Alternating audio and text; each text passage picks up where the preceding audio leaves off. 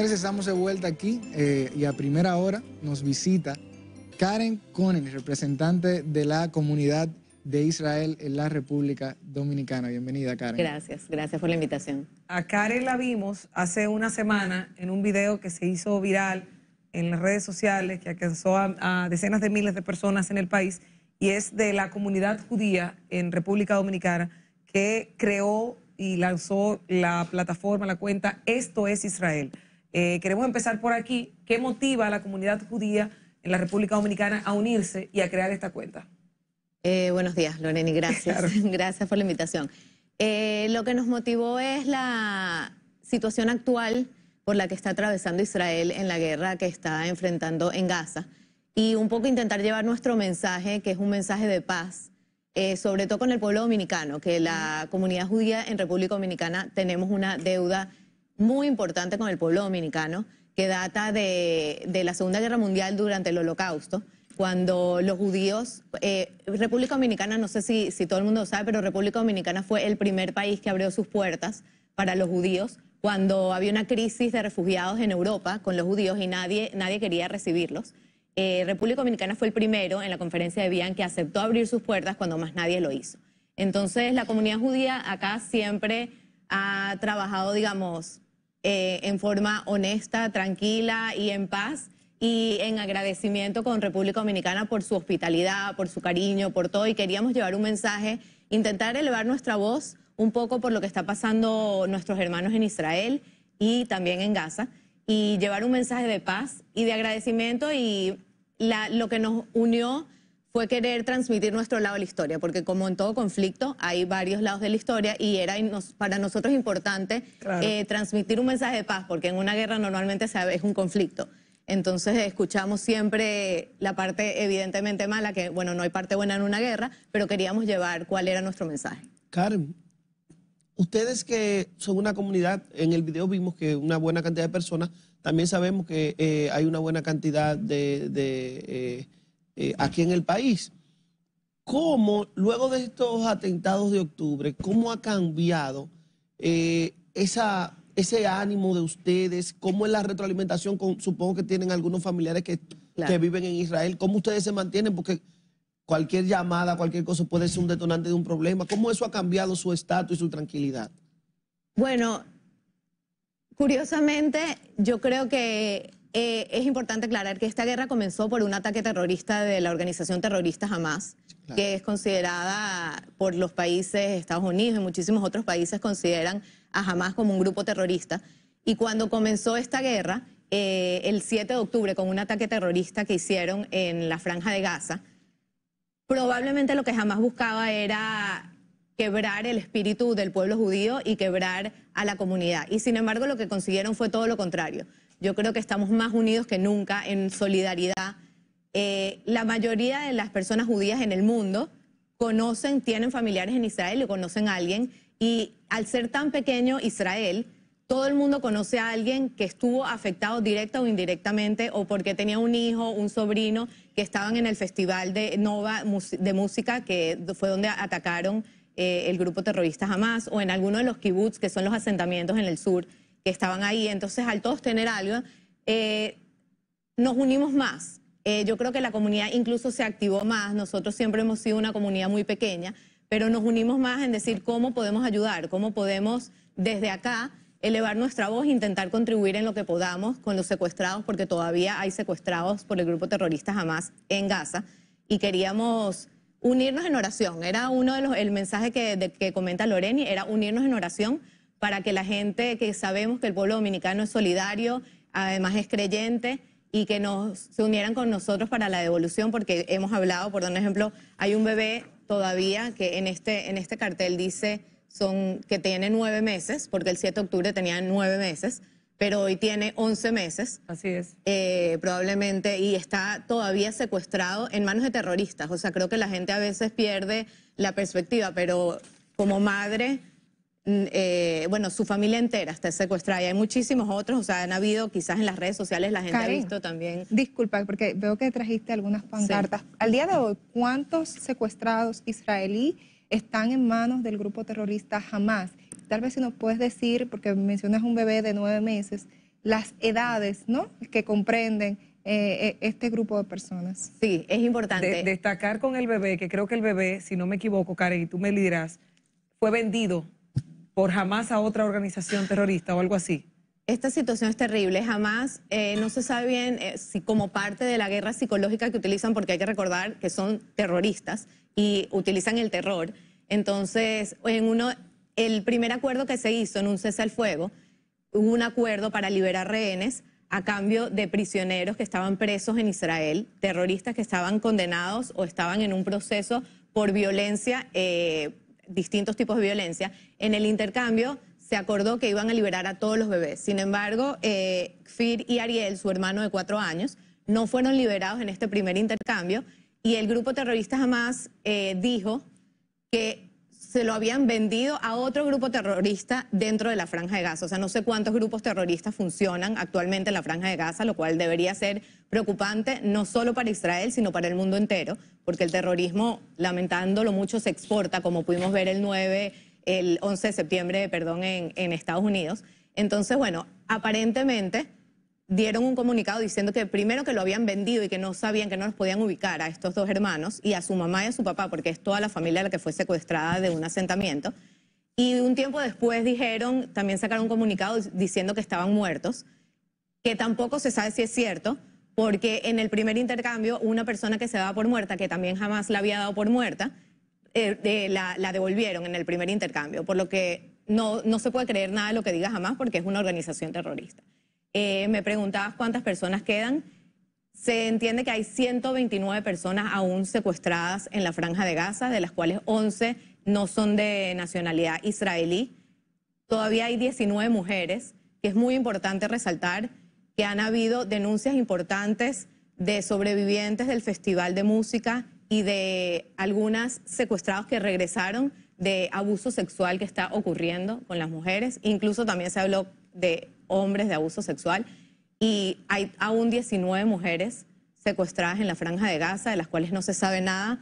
Hay una chica que un video que se hizo viral también se llama Nama Levi, que el video se hizo viral porque los terroristas la tenían en una jipeta en la parte de atrás y la bajan y se ve ella con las manos esposadas, con su, con su pantalón ensangrentado. Eh, no sé si alguien puede entender el sufrimiento de una madre que está viendo este video viral en las redes sociales y han pasado más de dos meses y todavía no tenemos respuesta de Nama y de otras 19 mujeres que están secuestradas. Karen, una pregunta. De, el, grupo Esto es Israel eh, y la comunidad judía, ¿qué cantidad de personas eh, eh, lo comprenden en el país? Bueno, en realidad es un grupo pequeño, fue una iniciativa, si se quiere, un poco pequeña, se puede decir. Es una iniciativa que formamos algunas personas que queríamos, que dijimos, bueno, ¿qué podemos hacer para alzar nuestra voz? Porque lamentándolo mucho a veces en las redes sociales, eh, hay muchos justicieros de la paz y el mensaje este de, la opresión en Palestina y todo lo que suena tan alto, que nosotros dijimos, ¿cómo podemos explicarle, sobre todo al pueblo dominicano, nuestra visión de que nosotros lo que queremos es orar por la paz, queremos que los secuestrados regresen a su casa. Nada de esto estaría pasando. Es una guerra que comenzó el grupo terrorista y si bien hay, una historia muy amplia que viene de muchos años atrás, pienso que toda persona de bien tiene que compartir el mensaje de que nada, nada en el mundo justifica el terrorismo. Nada. Eh, recuerdo en la universidad cuando yo estaba que estudiamos el grupo ETA en España, que tenían un mensaje de liberación también, y el terrorismo no puede ser un camino válido. Entonces nos unimos para intentar llevar un mensaje de paz, pero en realidad somos pocas personas que estamos intentando compartir información que se está viendo en el mundo. Karen, hay una realidad que nosotros mismos hemos tenido que experimentar. Cuando yo presentaba el video de Esto es Israel la semana pasada, eh, inmediatamente se me activaron muchísimos grupos, inclusive grupos pro-palestinos que no conocía. En esta ocasión acabo de decir la palabra Palestina porque en el tiempo que tenemos hablando no se ha mencionado nada contra los palestinos, sino contra Hamas. Y empezando por ahí, aclarar que si es que Israel tiene algo contra los palestinos o es directamente contra Hamas, y sobre todo los mensajes de odio, de liberen a Palestina y de otros temas, porque entienden que es desproporcional lo que está pasando luego de que a Israel lo, atacaron el 7 de octubre y mataron a más de 1.300 personas, pero que Israel lleva eh, miles y miles de, muertos en la franja de Gaza. ¿Qué, ¿Qué puede responder a eso? Bueno, es un tema muy complejo y las redes, primero hay mucha desinformación y mucho desconocimiento, entonces es muy importante, incluso el otro día había un post que decía, ¿qué hace que la gente quiera opinar sobre el conflicto entre Israel y Gaza cuando la gente no opina sobre otros conflictos? Y aquí hay un tema muy importante. Israel siempre ha sido juzgado con una vara mucho distinta a cualquier otro país. Eh, sí es cierto, hay un sufrimiento terrible, eh, porque toda guerra lleva un sufrimiento. Y hay sufrimiento de ambos lados. Es innegable que el pueblo palestino está sufriendo, pero está sufriendo porque jamás es un grupo terrorista que lidera y de hecho es el gobierno eh, legítimo en, en, Gaza, pues legítimo para los palestinos. Entonces, cuando hablan de proporción, ¿qué es proporción en una guerra? Es como cuando los aliados eh, atacaron quizás Alemania o Polonia en la Segunda Guerra Mundial y que el mundo entero se hubiese unido a decir que los nazis eh, están sufriendo mucho por el bombardeo. Bueno, sí, hay, evidentemente es una guerra, hay un objetivo claro, que es importante aclarar que el objetivo no es venganza. Israel no se está vengando por lo que sucedió el 7 de octubre y entonces está entrando a matar palestinos indiscriminadamente. Eso no es cierto. Israel tiene un objetivo que es acabar con el grupo terrorista Hamas, porque tienen la amenaza, porque además los líderes, que también lo pueden encontrar en las redes, han amenazado abiertamente con que esto, incluso la, palabra que utilizaron es que esto era solo un ensayo y que piensan repetir lo que sucedió el 7 de octubre. Entonces es vivir con una amenaza en el patio trasero. ¿Quién podría vivir si alguien entra a su casa, lo ataca, viola a sus mujeres, decapita a sus bebés, porque hay, eh, hay pruebas de que han quemado vivos y han decapitado a inocentes que vivían en estos asentamientos que no tienen nada que ver con política. Precisamente es importante eh, resaltar que la gente que vive en esa área en el sur es gente, lo que en Israel se llama de izquierda, que es un, concepto un poco distinto, que cree en la solución de dos estados, que piensa que los palestinos merecen un estado. Y se les ha hecho muchas propuestas a los palestinos que jamás, como tú dices, porque es importante diferenciar, las han rechazado.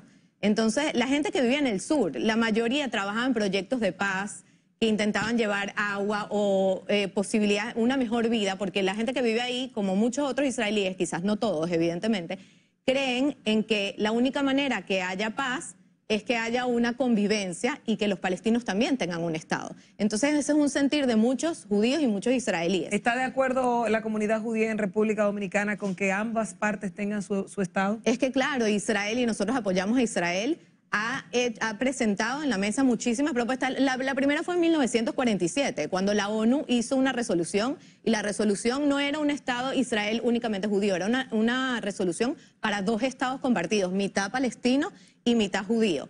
Los judíos aceptaron esta resolución y dijeron, está bien, vamos a quedarnos con la mitad, y los palestinos no, y el pueblo árabe eh, entendió que Israel no tiene derecho a existir, que ahí es donde está el punto todos tenemos derecho a existir. Entonces, para que haya convivencia necesitamos eh, poder entender que ambos tenemos el derecho. Y jamás, no los palestinos, pero jamás entiende, porque además lo ha dicho públicamente, de que Israel no tiene derecho a existir. Y los slogans que la gente repite en las redes, como tú decías, llaman abiertamente cuando dicen desde el río hasta el mar, Palestina será libre, eh, from the river to the sea. Eso lo que quiere decir es que quieren eliminar a Israel, porque Israel está entre el río y el mar. Entonces, si no hay, si no hay un entendimiento de que ambos podemos convivir, pues es muy difícil llegar a la paz. Karen, eh, dentro de esta eh, comunidad que vive aquí en la República Dominicana, que independientemente ha sobresalido en este espacio, hay una ruta de trabajo, hay un pensamiento de seguir visualizando temas, es decir, ¿qué, qué viene? ¿Qué, ¿Qué se proponen?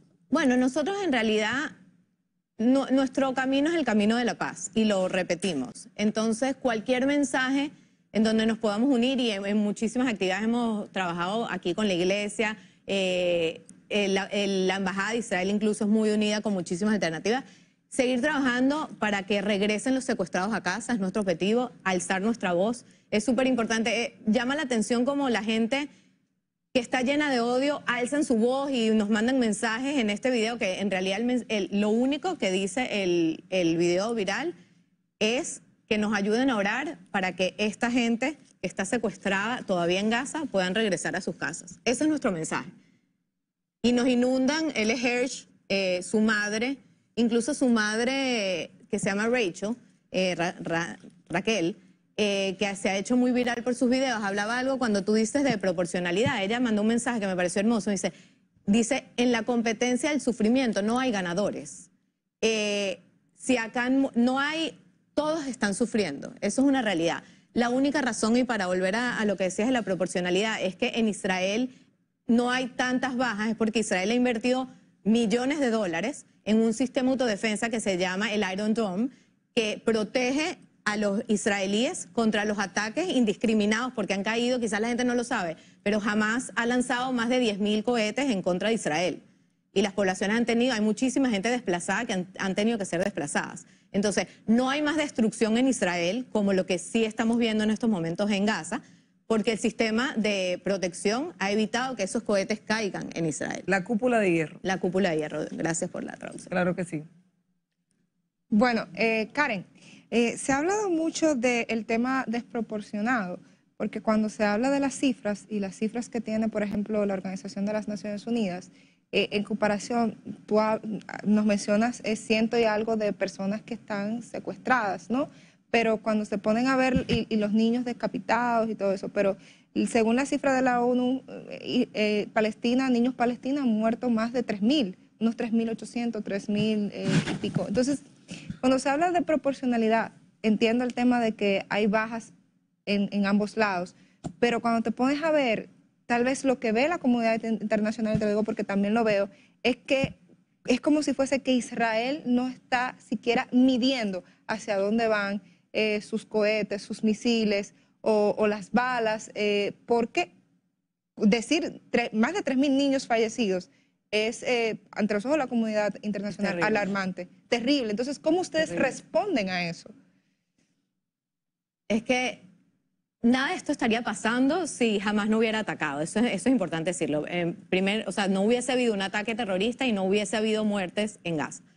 Es importante que la gente entienda, y bueno, cuando mencionas a la ONU también, parte de la indiferencia del mundo, creo que es importante hablar de que la ONU, en una opinión muy personal, es parte de organizaciones corruptas que se ha demostrado eh, han sido vergonzosa su participación y esto es una opinión eh, que elevo la voz como una crítica a UNICEF, a la UNRWA, que es la organización de la ONU que se encarga de los refugiados palestinos. Se ha visto corrupción, se ha visto que están involucrados en temas de terrorismo. tardó dos semanas para que UN Women, que se supone que manejan los temas de violencia sexual, levantaran su voz y dijeran, sí, es cierto, hubo, hubo violencia sexual contra mujeres israelíes. Entonces, las cifras también es importante decirlo, sin querer negar, porque es innegable que hay, o sea, de verdad que yo creo que como judía, como ser humano, no como judía, es innegable que hay un sufrimiento en Gaza y que hay muchísimas muertes. Pero los responsables, los únicos responsables de las muertes es el grupo terrorista Hamas. Primero, por el ataque que iniciaron. Segundo, porque ellos se esconden precisamente, y eso también se ha visto muchísimo, de que lo que pasa es que no hay peor ciego que el que no quiere ver. Eh, los, y ahorita acaban de, de, tener como testigo a uno de los directores de uno de los hospitales en Gaza, donde demuestran que los hospitales son bases terroristas. Entonces, los terroristas no se preocupan, no solo, no les importa no solo matar israelíes, sino que tampoco le importa la muerte de su propia gente. Lamentándolo mucho, así funciona el terror. Ellos tienen túneles, oficinas y funcionan desde hospitales, desde las zonas más pobladas precisamente, en Gaza, porque saben que Israel eh, los está buscando y saben que este sufrimiento es parte de su narrativa que ellos mismos están buscando. Entonces, como te digo, las muertes son terribles de ambos lados y existen, es cierto. Pero los números además también los da el Ministerio de Salud de Hamas, de Gaza. Pues el ministerio, ¿quién es el Ministerio de Salud en Gaza? Hamas. ¿Quién es Hamas? Un grupo terrorista. Entonces estamos comparando la palabra de un grupo terrorista contra la palabra de un Estado.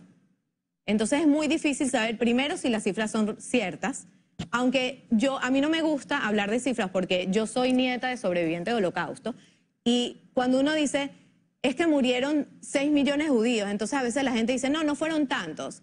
Es que no importa las cifras, son 6 millones de personas. Son, no importa las cifras son personas y son niños que están muriendo inocentemente, pero el único responsable, y como miembro de la comunidad judía puedo decir que el único responsabilidad, el único responsable por todo el sufrimiento que está habiendo en este momento es Hamas. Ahora, Visibilizan desde la comunidad judía quizá una solución pacífica al, conflicto. Una, salida que no sea la eliminación, por ejemplo, de, total de Hamas. La eliminación de Hamas. Sí, o sea, si, se contempla una, lo que pasa es que, probable negociación. Que, básicamente todo lo que se plantea es, bueno, el, el Estado es Hamas, se esconden bajo esto. Entonces, no se contempla llegar a una negociación, y creo que entiendo la pregunta de Carlos ahí, porque entonces van a exterminar a todo el pueblo palestino. Y sería como repetir lo que pasó básicamente con el holocausto, porque si ellos se esconden en escuelas, en hospitales, en, ciudades pobladas, vamos a suponer, y seguimos mandando cohetes, misiles, no solamente vamos a atacar al grupo terrorista, sino que vamos también a eliminar básicamente al, pueblo palestino. Bueno, es importante resaltar que según cifras recientes, 30 mil Jamás cuenta con 30.000 militantes terroristas en la franja de Gaza. Entonces, hay muchísimo terrorismo ahí. Entonces yo te pregunto, ¿está contemplado no acabar con Hamas? Bueno, eh, tú podrías dormir tranquilo, no sé si eres padre, eh, pero como digo, tú podrías dormir tranquilo si en el patio trasero tienes una gente que te está diciendo, voy a ir a violar a tus mujeres, voy a secuestrar a tus hijos, voy a matar. La verdad es que no, Israel no puede tener esa amenaza y no solo Israel, el mundo no debe tener, o sea, definitivamente concuerdo en que hay que eliminar a Hamas porque es una amenaza para el mundo, es un grupo terrorista, o sea, quiero repetirlo. Eh, em, eh, su alternativa de paz es el terror. Y nosotros creemos, yo, y puedo hablar en nombre del pueblo judío, creemos que el terror no es un camino para la paz, que si creemos que hay alternativas para la paz, claro que sí. Eh, por eso es que Israel ha presentado sobre la mesa y ha aceptado muchísimas ofertas de paz, incluso con Egipto. Israel entregó la península del Sinaí, que no sé si saben que es rica en petróleo, y la entregó a cambio de un acuerdo de paz que se hizo y hay paz con Egipto desde ese entonces. Entonces, y ha habido paz con todos los países árabes, o sea, eso es una muestra de que Israel quiere paz, porque hay paz con muchísimos eh, países árabes que son vecinos, pero jamás ha dicho una y otra vez que ellos no quieren paz, que ellos quieren eliminar al Estado judío, y eso no puede ser. ¿A dónde nos vamos?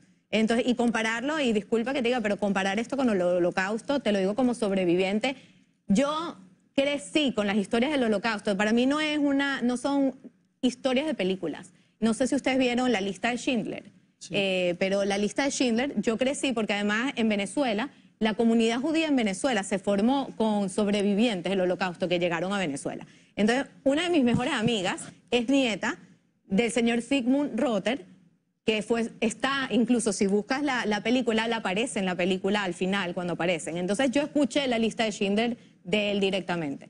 Esto no tiene nada que ver con el holocausto, esto es un Estado que está peleando por su derecho eh, y defendiendo su derecho a existir cuando sus enemigos quieren destruirlo. Entonces, creemos en la paz, yo creo en la paz. La gente que vivía en el sur, como te digo, tuvieron iniciativas. Eh, hay, un caso que lo compartimos en las redes sociales, lo compartí en, mi cuenta que es Karen Koenig 3G, y 3G es porque soy la tercera generación de sobrevivientes del holocausto, y precisamente eh, desde hace un tiempo, incluso antes, o sea, yo abrí esto porque pensaba que hablar sobre el holocausto iba a ayudar a combatir el antisemitismo que hay en el mundo, porque hay muchísimo antisemitismo, hay muchísimo odio eh, disfrazado de humanismo de una causa palestina, que la causa palestina es válida, los judíos la, estamos de acuerdo y la aprobamos. Lo que no vamos a aprobar es el terrorismo. Excelente, Karen, de verdad que sí. Invita a la gente a que siga esto Israel. Claro, esto es una visión y nos encanta también que nos acompañen en, esta cuenta. Se llama Esto es Israel en Instagram, en Facebook, en Twitter. Eh, mi cuenta personal es Karen Koenig 3G, la pueden ver ahí también. Eh, y a debatir en paz con respeto es importante porque la gente nos ha, han habido ataques que creo que no van con el tono de esta cuenta, que es transmitir un mensaje de paz, de unirnos, pidiendo, como decía, para que ellos puedan regresar a sus casas. Y el cuando jamás devuelva a todos los secuestrados y estén de acuerdo en que el terror no sea un camino para la paz, en ese momento va a haber paz. Así es. Gracias a Karen Koenig, miembro de la comunidad judía en la República Dominicana y del grupo de Esto es Israel. Síganlo en las cuentas de redes sociales. Con Karen vamos a una breve pausa comercial. En breve recibimos aquí, en esta víspera de Navidad, a nada más y nada menos que a Monseñor Jesús Castro Marte, quien es el obispo de la diócesis de la provincia de la Altagracia, Higüey, y que comparte con nosotros. Así que en breve con él compartimos. Se mueva. Mi nombre es David Mahler. Mi nombre es Yanir Droris. Mi nombre es Alberto Lalo. Mi nombre es Andrea Chamis. Mi nombre es Karen Koenig, Regina Kenny, Michelle Rudman, Timón Pellman, David Meinster. Y soy parte de la comunidad judía de la República Dominicana. En 1938, en la conferencia de Vian, 32 países se reunieron para discutir sobre el tema de los refugiados judíos europeos. Ninguno de ellos abrió sus puertas para los judíos. Solo República Dominicana permitió la entrada de los refugiados judíos en el momento más oscuro de nuestro pueblo. Como judía, tenemos una deuda histórica con República Dominicana. Gracias República Dominicana por hacer de tu tierra un hogar para nosotros cuando más los necesitamos. La República Dominicana es un país de valor y creyente en Dios Todopoderoso. Dios siempre obra por el bien en cualquier lugar del mundo. Que todos somos hijos de un solo Dios. 240 personas de 33 nacionalidades diferentes fueron secuestradas el 7 de octubre por el grupo terrorista Hamas. Aún quedan 137 personas por regresar a sus casas. Cientos de familias están esperando que liberen a sus seres queridos desde la franja de Gaza. Hoy queremos pedirte tu ayuda una vez más para que juntos seamos la voz que pida por su pronto regreso a casa. Ayúdanos orando por ellos y su regreso a casa. Ayúdanos compartiendo este mensaje. Libérenlos ya. Libérenlos ya. Libérenlos ya. Libérenlos ya. Libérenlos ya. Libérenlos ya. Libérenlos ya.